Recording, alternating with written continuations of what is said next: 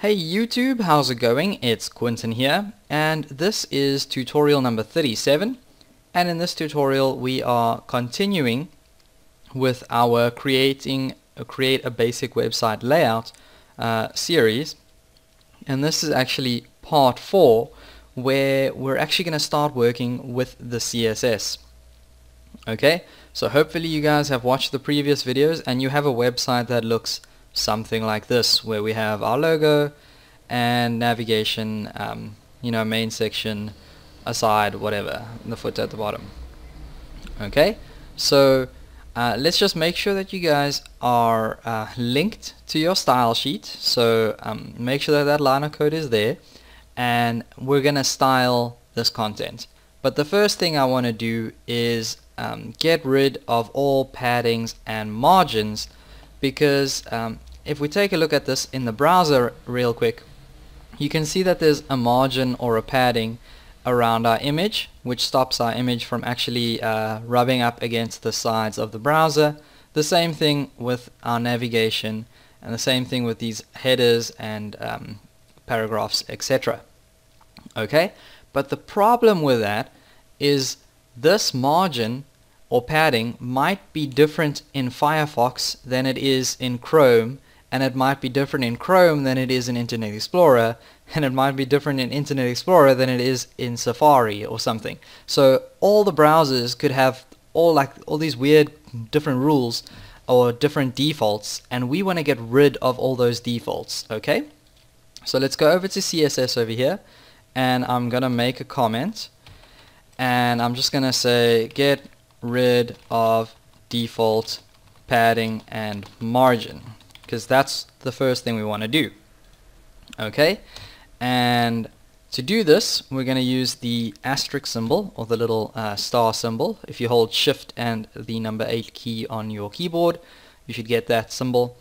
And what that does is select all the elements on the web page okay? So basically um, every single element that you can think of that you've put on this page will be selected okay and we can set this equal to um, margin of 0 pixels and padding of 0 pixels.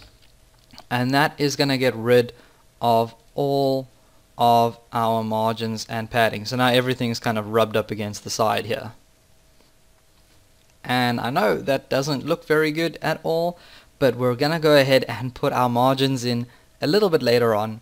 Um, but just for now so that everything will look the same in all the browsers we had to hit that reset into there. Okay so we've got margin and padding. Now let's go ahead and uh, something I actually want to do here is just take list style type and we'll set that equal to none. So uh, basically none of our lists are going to have those bullet points on the front of them, which is a good thing because our navigation, as you can remember, was a list and we don't want bullet points next to our navigation.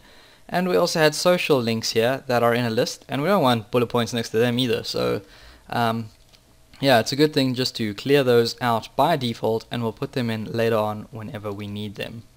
Okay? Now, um, the next thing I want to do is make sure that all of these new elements over here, this header element, this nav element, uh, the section element, article, etc.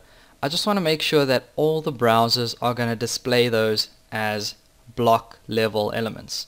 Now, um, most of the most of the new browsers will do that by default, but just if you want to make sure that the uh, Older browsers will handle those as block level elements as well.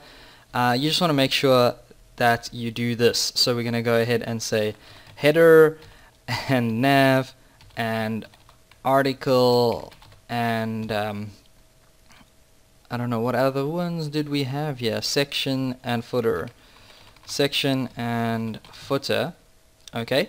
And we're actually selecting all of them at once by doing this. Um, going one comma next one comma next one.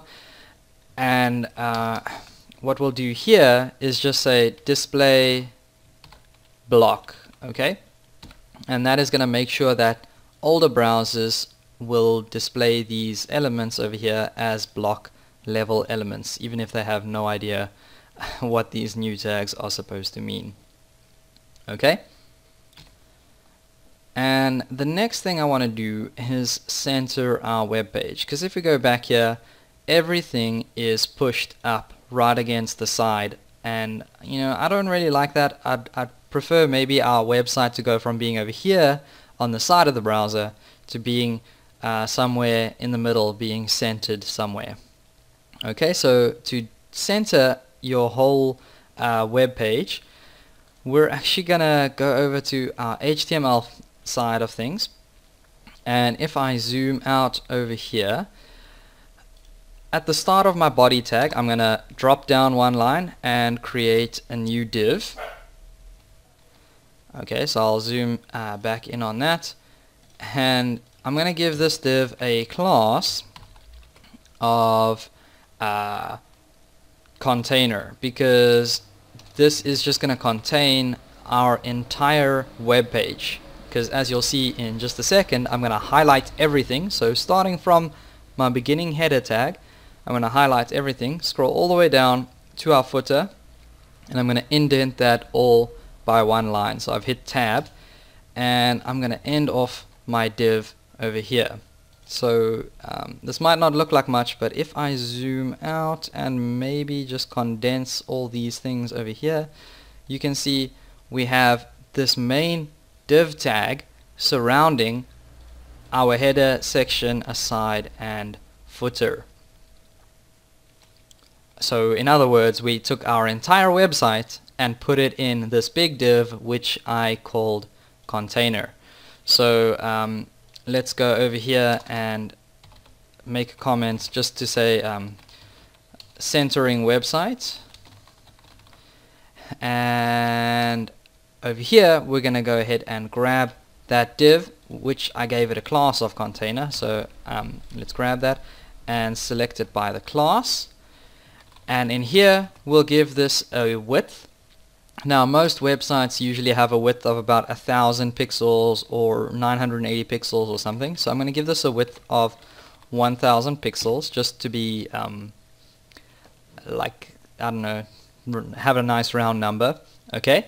And I'm going to give this a margin of 0 pixels and auto. Now what this is going to do is leave a margin of 0 pixels on the top and 0 pixels on the bottom but the left and the right are going to be auto or automatic okay? And what that's going to do is um, if we go over to the browser over here figure out how much space is on this side and how much space is on this side and then actually center the web page for us. So when I um, click refresh somewhere over here uh, nope. okay, uh, I didn't save, so need to go back and save that, because I didn't save the CSS file. Okay, now when I click refresh, um, we have our website jumping more this way. Now the reason why it is not exactly centered is because if I go over and I inspect, ele inspect element over here, we gave this a width of 1000 pixels, um, which means my 1000 pixel starts here and ends here. So we've centered the big 1000 pixel div. Uh, so hopefully you guys can see these little dotted lines uh, going down the sides here. Uh, but if you can't, then another thing you could always go do is maybe just add a border to this. So border of one pixel, oh let's go uh, two pixels, solid uh, black, and go back to the browser now and hopefully you guys can see that we've got this big div over here which is actually centered in the middle of the web page. Now in the next tutorial we'll take a look at actually getting this navigation to uh, get floated next to our logo and then we'll also try make our main section appear here in the main side of things and this aside section appearing along the side over here. So that's all I have for you guys in this video. But obviously don't forget to subscribe, please feel free to leave a comment, like or share this video, it's really going to help my channel grow and I will see you guys next time.